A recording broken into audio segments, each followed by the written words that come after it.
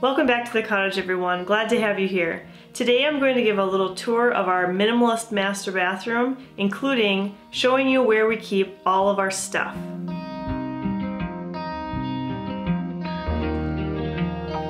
As more of our personal friends become aware of our minimalist lifestyle, the question I seem to get asked quite a lot is, well, what do you do with all of your stuff? You know, the things you need. So I thought it might be interesting to give you sort of an in-depth view of one of these hardworking spaces and show you where we keep our products and also how many products we actually have. But first I want to give you a little tour of the bathroom and I'll throw in a few video highlights of us doing the actual construction because I didn't get a video put out then and this might be a fun way to kind of add that footage in. Our master bathroom is not real big. In fact, the open dimension of the space is about five and a half feet by five and a half feet, not including the shower. However, it packs a punch with all of its function and everything is laid out in a way that everything's very functional and useful.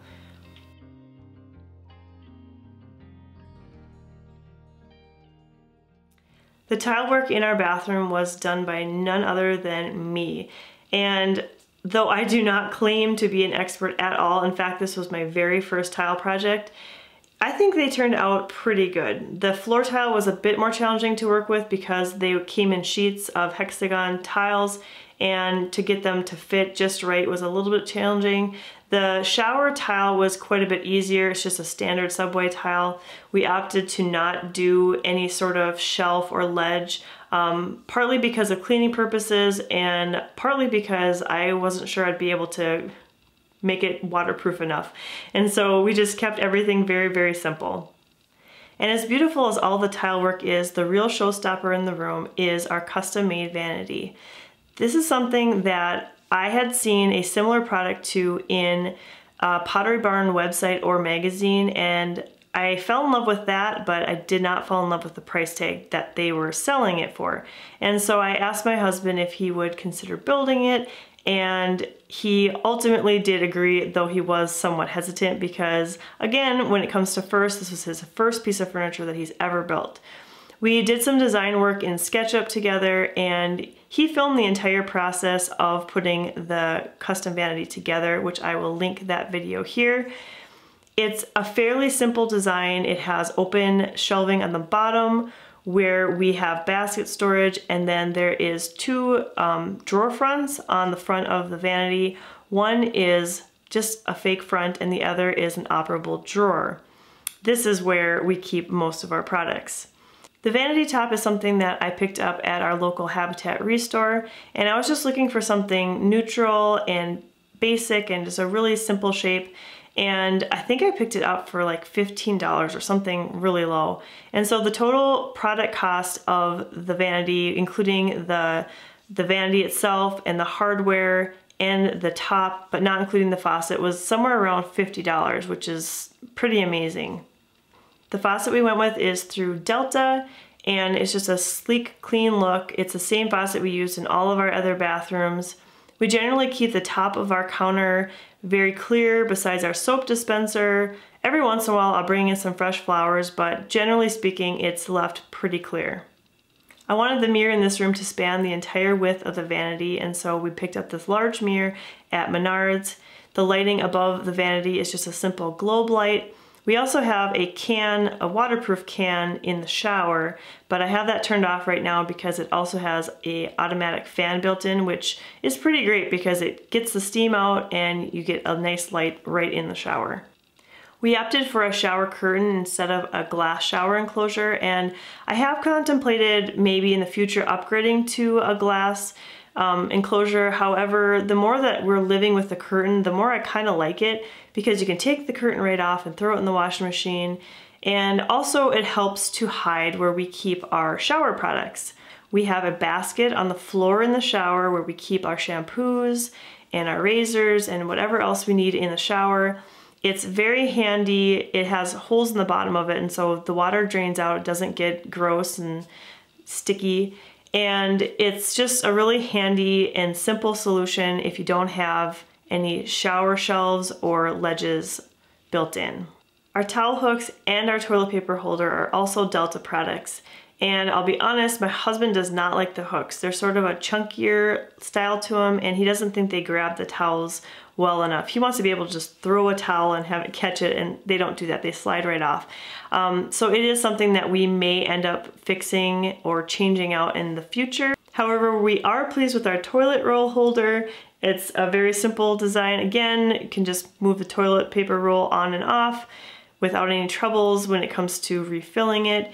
Our toilet is something that took a little while for us to get used to. It's the higher height version and we were sort of told when we were building that that is better for accessibility when you get older. It did take us a little while to get used to it, but we are used to it now. And next to the toilet, we keep our small garbage container and behind the garbage is where we keep our bathroom spray. So now I'm gonna show you where we keep all of our stuff. We have two large bins that are underneath the sink and those hold multiple items. So our the left side bin is where we keep our pajamas or clothes that we're gonna wear again. So in a lot of houses, they might people might have like a chair or something where they throw their pajamas or they throw their clothes that they're gonna wear after work. And this is kind of our chair. We just keep it in a basket instead of on the chair.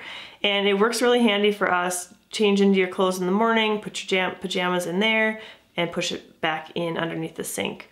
I also keep my curling iron in the left basket. It's just kind of an awkward shaped item. It fits well down there. The right basket is used for our laundry and my husband was real creative um, to get the basket to fit. He had to cut out the back because of the plumbing, and so we put all of our laundry in there, and on laundry day I pull it out and we use it. And next to the laundry is where we have our like surplus toilet paper and also surplus um, shampoos and things. And now I'll show you what we have inside our one drawer in our bathroom. As I mentioned earlier, the top drawer of the cabinet is a false front and the bottom drawer is operable. My husband had to work around the plumbing when he built the vanity and so the middle section is kind of skinny and there's two larger portions of the drawer on either side. So mine is on the left and my husband's on the right. We share a the middle section with our toothbrushes, our fingernail clippers, I have a bag for feminine products, and just kind of everything is sort of in its place. We did not plan for these bins to fit just perfectly on either side, but we found these metal baskets that like they literally fit perfect. And that keeps everything kind of organized and in place. And I'll show you what we have inside these baskets right now.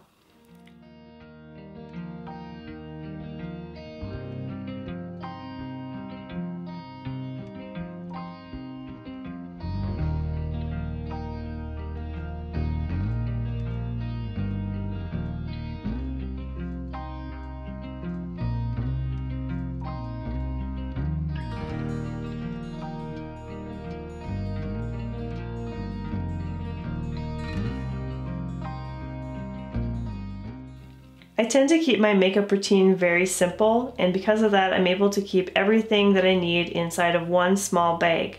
This includes my moisturizer in the morning, it includes my foundation, blush, eyeshadow, mascara, and I also have a few tools including an eyelash curler, an eyebrow brush, and a blush brush.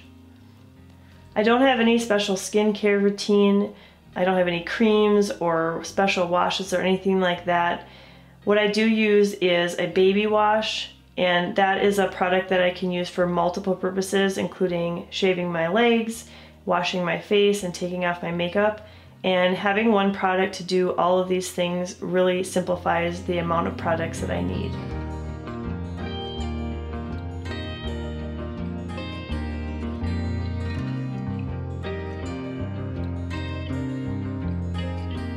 Hope you liked today's video and I hope it answered any questions you may have had about where we keep all of our stuff.